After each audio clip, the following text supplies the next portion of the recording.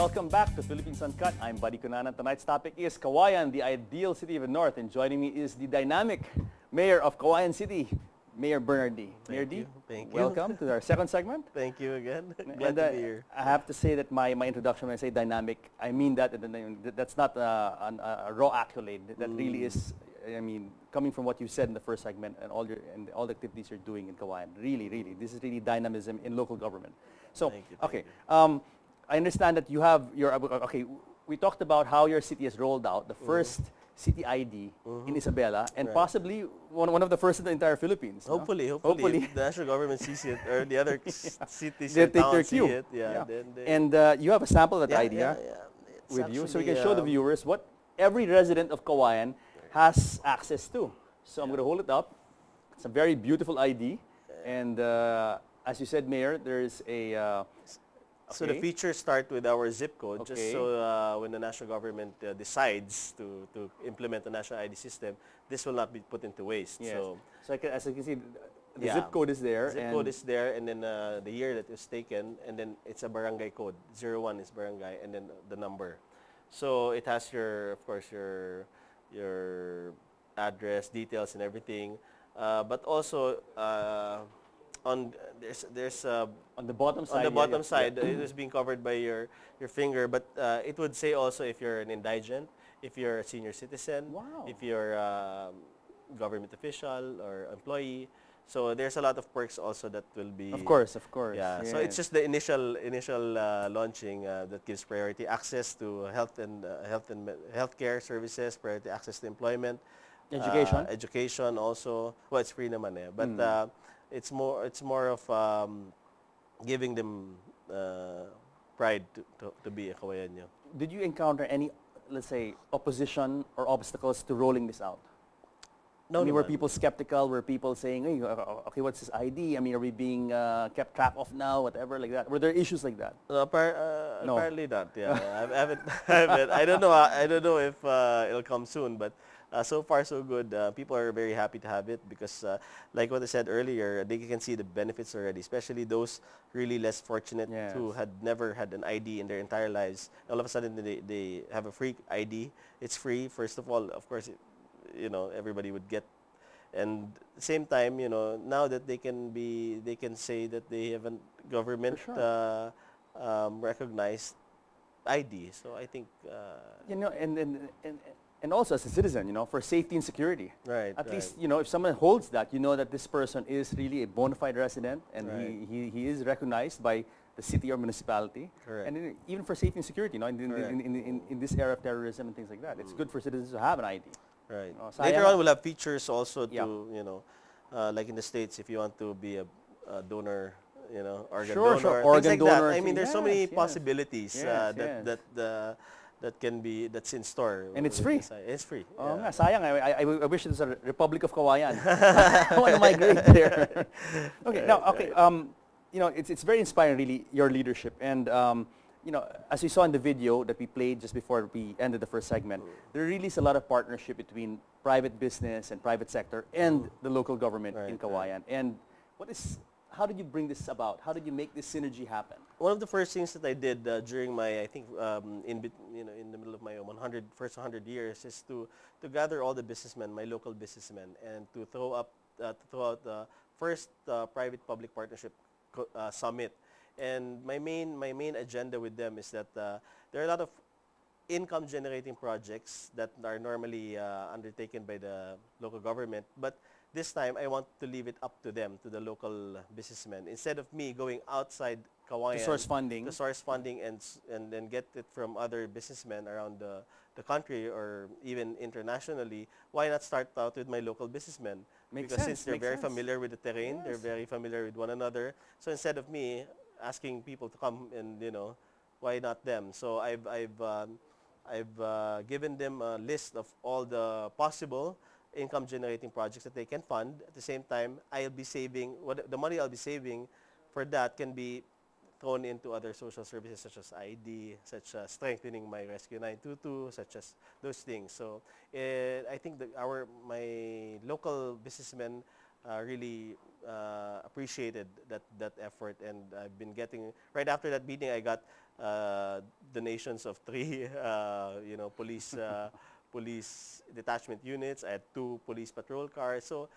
Uh, it's it's it's good. It's a good engagement uh, between uh, the LGU and business sector. For sure, and and you know, it's good that um, you're you're tapping these local guys because they should benefit also from opportunities. Yeah, certainly. They're the ones living there. that will be fir- first Yes, benefited yes, by all these things. Rather than get some outsider, let, Right. let your constituents benefit first, no? if, if they can, no? Right, If, if they can. Now, interesting you should say this that about how they, they donated things like that and then, then uh, police cars and things like and, Right. and, and really that is the way to go because I don't think government can handle everything by itself. Yeah, You know, and uh, private sector's got to help out. Right, right. Uh, it's government have has very limited resources, and at the same time, you know, uh, I don't know of any government official or any uh, chief executive that would say he can do everything, you know, without the help of uh, of, of, of uh, private sector. So I think it's really just tapping the private sector to know what the needs of the city are. Yes. I think that in little sense can can go a lot of way. You know, Mr. Mayor, it, it's really amazing that when you think outside the box and you mm. think creatively, there's really a lot of things you guys in local government can accomplish. Right, right. Because, right. you know, for the longest time, the mentality has been like, okay, we're government, this is what we're going to do.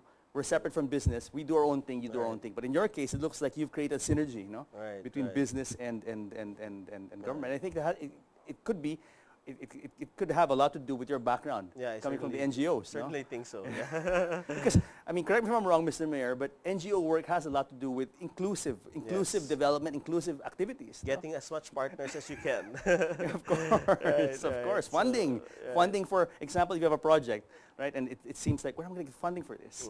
So you, you have to go out and get and, then and tap I private think the, it's not only that you know you've uh, partners in actually implementing projects, but also for sustainability. course, as local, yes. as politicians, as uh, chief executives, in in our society or in our country, you know, it's it's so hard to get continuity. If there's a change of form of it, it, if there's a change of administration, all the projects and programs will be put into waste. But if you have partners, Yes. if you have institutional partners, regardless of who sits after you, it will continue. hindi masasayang yung project. Alam mo, Mr. Mayor, yung sakat ng Pilipino, eh, I, I, I'm unfortunately, our, our politicians, excluding present company accepted, of course. Right, right, but right. let's say, you know, unfortunately, this country, as you said very rightly, when there's a, change in government, change in political uh, leadership, Yeah. you know, all, all, projects, put, yeah, all, all that may, it may be good. yeah, Most of them are good projects, but just because there's uh, another government, then you just scrap it. So just imagine the amount of money, the amount of taxpayers' money course, that and was wasted. time, effort, and time, you know. So that's that's a sad reality of the economic, uh, the political landscape in our country. But in your case, you've engaged business, so there is ownership from the private sector. correct. So the next guy has to play ball with these, I mean, because Yeah. the, the institutions have been put in place already. Right. The systems are in You place. no? institutionalize all the projects. So that's, I think, the goal of, of, of my, my, my administration. How accessible are you as a local chief executive? Oh, I'm very, very accessible. No, I don't even have a gate in my house, so people can just go anytime. If they want to kidnap me, they can Oh, just no, no, go, actually. no, let's not talk about But that. no, but uh, my family's been like that. So it, you know, it was not just me. It's my actually my from my grandfather to my father, you know, to to me. Uh, I think the people has been um, they've just got used to it. That that they can approach us anytime, they can call us anytime, they can text anytime. Um, that's just how we grew up.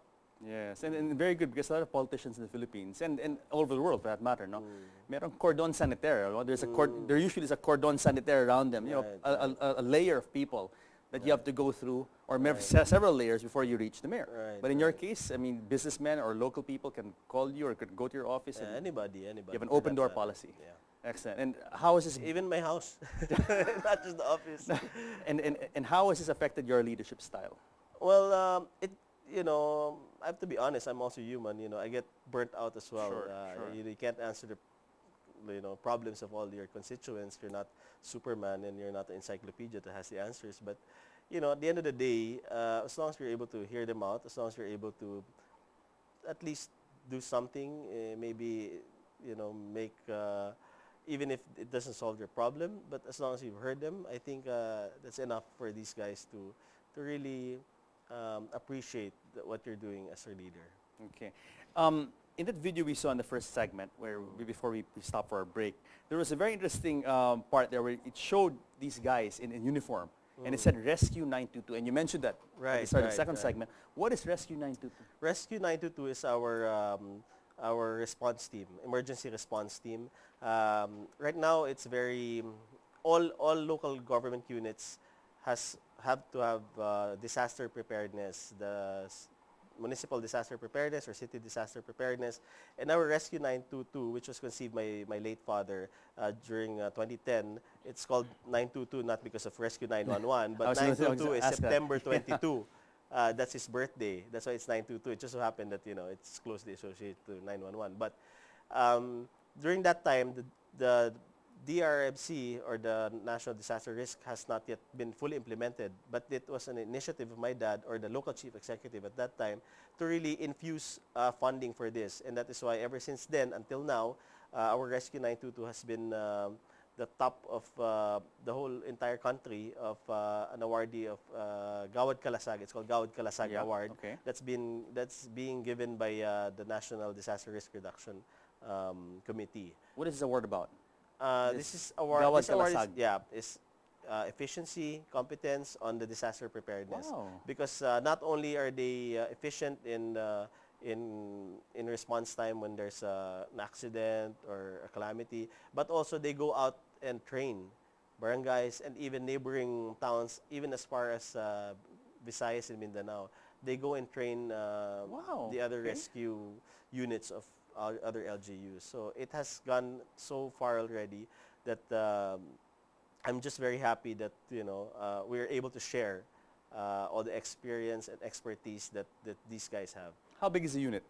Uh, it composed about 50, 50 people. Full-time. This is a have full-time- three shifts. This is a full-time uh, disaster, emergency disaster response Yes, unit. Wow. yes, they're complete. Uh, we have about uh, seven ambulances. We have about two that's like the states. That's an ICU type Wow. already. We have a fire truck. They have, you know, it's it's really Amazing. It's amazing. Yeah. I mean, for a uh, city like ours, yes, we're, of course, we're of top course. we're on top of the country. We're, we're so far from the metropolis, but we still uh, were able to get such service. Yeah, because you know here in the here, in Manila, whenever we're hit by a you know disaster, a typhoon, a flood like that, you know these kind of services seem to be lacking, no? Yeah. But at least in your city, ha- ha- have these guys been through, put through their paces? Have they Oh, been yeah. tested in so in many times. So many times. What, what kind of disasters have they uh, even addressed? even not just in Cauayan, but even calamities that, that hit us. Uh, the first that hit us big was San Juan, uh, the typhoon Juan, uh, but that hit the eastern seaboard, all the coastal areas. It's similar to Yolanda, but this time, uh, the Yolanda strength Yeah. uh, was similar, Yes. but it, it was in our coastal area, so not not a lot of people were, were hit. But in Yolanda, we sent these these guys. We sent them in uh, Sendong as well. So Wow. even as far as Mindanao, we send them. And Where does funding come from? The local uh, mayor's office. And in, in partnership with uh, private sector, you, you Private mentioned that they have yeah. contributed to, to, to supplying some equipment right, and things like right, that. Right, right. So you know, partnership is not bad. No, no, no, no. Very impressive. And in fact, I mean, this is something that should be replicated. I mean, the Philippines has been uh, rated by the UN as one of the most threatened no? right, right. countries in the world. Especially now, I think it's very timely that Yes. people will have to really consider partnership or doing partnership uh, in a whole different level. Uh, two months from now, we will be experiencing uh, or we will be coming into a new era of uh, whether it become leadership or governance or ec- economy You're because of the AFTA. Yes, uh, you're talking about the AEC, the ASEAN Yeah. Economic Community, no? Yes, and, yes, uh, yes. because of the ASEAN Free Trade Agreement, ev- there's going to be a different ballgame. Uh, Actually, Mayor, hold that thought because I want to talk about that and how you're bringing Cauayan to the world Okay. when Philippines Uncut turns. Stay tuned. Galing, galing ng ano.